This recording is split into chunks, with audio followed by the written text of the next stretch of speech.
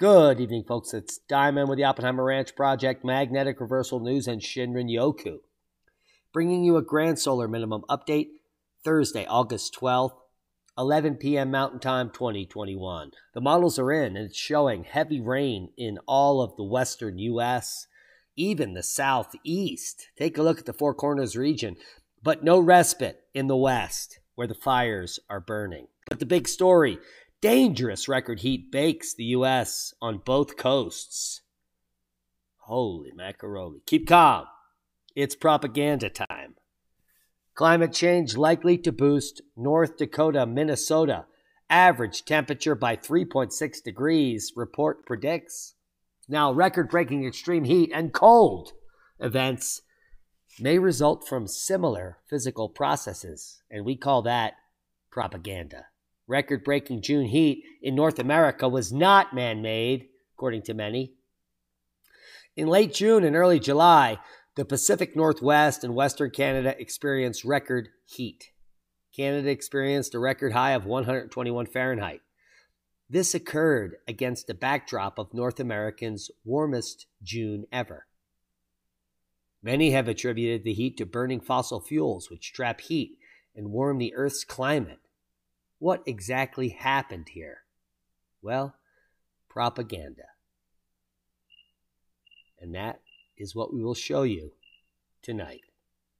Antarctic ice extent, second highest in recorded history as of August 8th, ever, all time ever recorded. The media is not reporting on this for obvious reasons. Antarctic ice extent approaching, yes, is the second highest in recorded history as of August 8th the mainstream media not reporting on that. Now, from drought and derecho damage to losses from record cold temps last year, $8.5 billion in disaster aid passed the House Ag Committee. Has nothing to do with global warming or heat, everything to do with derecho damage and cold. So, what say you? Expansive heat waves, severe storms, keeping an eye on Fred. That's what the National Weather Service says. A widespread and expansive heat wave continues to affect less than 50% of the U.S., from the northwest to parts of the Mississippi and Ohio valleys. The rest of the country is well below average, in some areas, record cold, like the southwest here. Arizona, 15 degrees below normal. New Mexico, 15 degrees below normal the Four Corners region up to 20 degrees below normal. But they didn't tell you that. I did. Wake up call. Tropical Depression Fred is coming to Western Florida. Heads up, Anthony. That's my brother. He lives here in Estero Bay. And it will be approaching as a tropical storm, potentially a Cat 1, in my opinion, uh, that they don't know what they're talking about. But we predicted Two weeks ago, this track would hit Western Florida. And it's, well, exactly as predicted. Now they're predicting it's a tropical storm all the way up, but we say it reorganizes here after the Florida Keys and becomes Cat 1 somewhere near Bonita Springs. Ding dings. Be prepared, not scared. Polar cold blast Australia, New Zealand, and South Africa. Brazil corn output slashed after historic freezes as Portugal suffered colder than average July. Who's lying? Code red for humanity. Here come the climate lockdowns for the good of the planet. Now, the IPCC's latest climate report is as anti science and anti human as any publication could be. Reject it at all costs. It has nothing to do with you CO2, or facts, and it is certainly the least scientific publication ever in human history. But everyone will adopt it. Like a fairy tale with green eggs and ham, climate change causes Russia sand dunes to sprout. okay. We must all be burning up. Don't be afraid. The UN's climate report is a politicized debacle. Climate Change Dispatch. Hello. Every year, like clockwork, starting in late July and running through November, mainstream media all around the world starts hyping the message. Your sinful use of fossil fuels to heat or cool your home, cook your food, power your car or truck, make and market in use of your food, clothing, shelter, communications, trans- transportation, healthcare, and other things that keep you alive and healthy will make the world overheat and you'll be sorry. We told you, and therefore pay your taxes. Strong quake strikes Philippines, no tsunami threat. And this is not the only large quake in the last 48 hours. We have a huge event here down in the South Sandwich Islands with thousands of quakes after the largest quake in months hit just hours ago. And that was a seven. Let's see where they downgraded it. Let's get to the beginning of the 7.5, still up on the charts.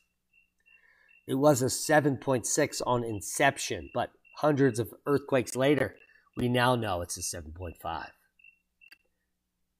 And two of the largest earthquakes in months have affected almost nobody which is good news. Three volcanoes are erupting simultaneously in Alaska, another place where no one lives. Mount Etna is 100 feet taller than it was six months ago when we started reporting on the 55 plus paroxysms that have occurred since the inception of this new cacophony of quakes and eruptions on the mountain. And if you want to correct me for the use of cacophony, well, you can, can suck it period. Worldwide volcano news update Fuego, 16,000 feet. Reventador, Nevados de Chillán, and many others puffing and passing to their similar attitudes. Sheveluch hitting 17,000 feet just hours ago. Sabancaya to 22, Fuego to 16, and so on and so forth. Nothing spectacular to, to report on. Merapi has had a, quite an uptick but we've been watching that, so that's all you need to know. Global warming begets more warming, new paleoclimate study finds. Well, they didn't find much, and as a paleoclimatologist, I can pick this apart like a fart. I mean, it is, well, what they said is it was warmer in the past, paleoclimate. Yes, you're correct. But in the last five million years, we've been in, in an ice age and all of your studies are moot to boot. Climate change will transform cooling effects of volcanic eruptions, study suggests. They're saying that even though we're going into a, a cooling Earth, volcanic eruptions won't affect us much. No. Well, they actually claim that we're going into a warming Earth, so moderate eruptions don't cool the Earth because we're heating so quick. Tick, tick, ding dong. A NASA scientist explains why the weather is becoming more extreme. It's all your fault, and we've used propaganda to scare you. Unintended consequences of the mRNA vaccines against the Wu flu are showing that, well, they're highly unintended. Read the article. New car- carnivorous plant discovered in North America. Yes, it's not the Venus flytrap but it certainly balances trapping prey and being pollinated. If you land on the stem, well, it could be death to you. Botanists at the University of Wisconsin Madison and the University of British Columbia have discovered that vegans are actually eating animals. And they're totally full of shit based on this article. Period. Well, and the fact that Matt Powers and I talk at length and how, how all plants are eating actual animals. Bacteria, yes, they're people too. American kids get two thirds of their calories now from ultra processed foods because they don't believe a word that Diamond and Matt Powers say on their podcasts. In fact, they think that the powers that be know exactly what children want. Yes, the global warming goodness, and the diabetic destruction of their future. Geochemical constraints of the structure of the Earth's deep mantle and the origin of the LLSVPs. Now, if you've been wondering what the schmucktard over at that other channel has been talking about when he says LLSVPs and he thinks half a million people know what he's talking about, well, you're on the same page as we are. Now, the LLSVPs are potentially, well, a crucial role in the dynamics of the lower mantle and act as the source region for deep seated mantle plumes, which could tilt the Earth off its kilter and also lead to huge superficial flows of magma in the near future. So it's something you really should learn about. And these are low, large, low shear velocity provinces, which geochemically are unexplainable, except that we use seismic data and other inference models to image them. And when we're looking at them, we can see they're emanating from the core and not actually the mantle. So there are some really huge problems with deep earth uh, geology, deep earth geochemistry, and in fact, the whole nature of our magnetic field and the inner and outer core. Al Gore Zahor. Shape-shifting fish that confounded scientists for 100 years spotted off the California coast, and it looks like Extinction Rebellion outfits, in my opinion. Well, it's just a fish. Or is it? It could be Satan himself. Beam instruction manual beamcompost.com. Biological inoculants, not compost at all. Beam is the number one product in the world that can improve crop output, soil health, well, and your general well being. Get the beam. Click on the link below to become a Beam affiliate and to buy your own beam for a, a boom.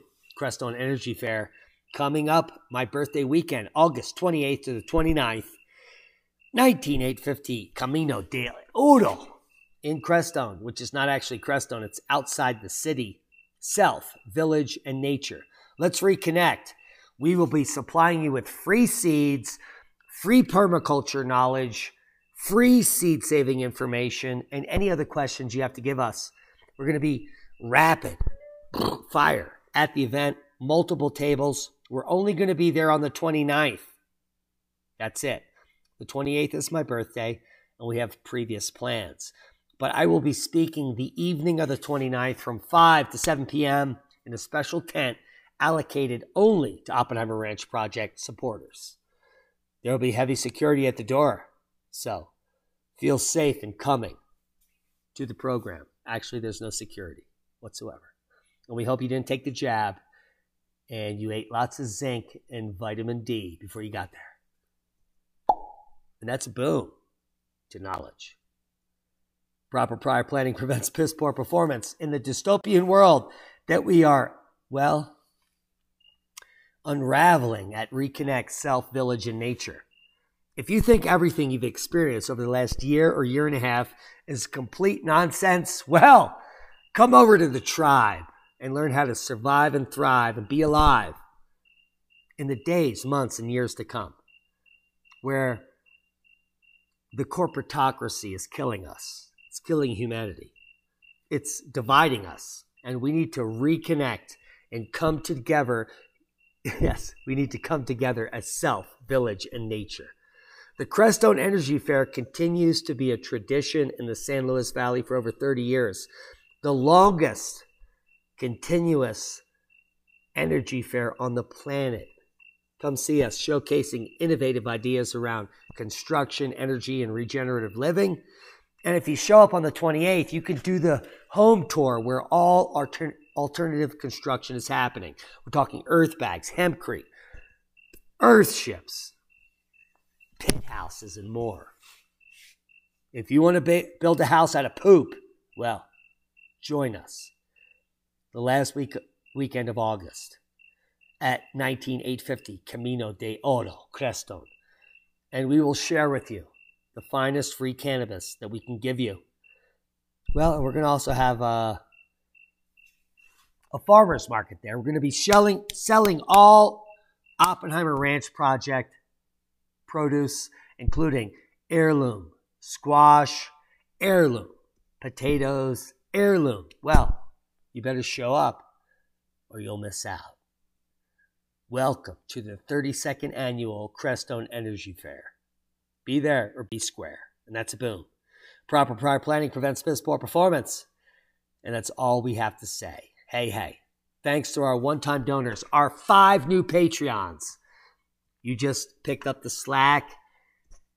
Well, kick it up, please. We love each and every one of you. Thanks to the heroes that share these videos. And we'll see you soon in the morning. I hope so. Ding.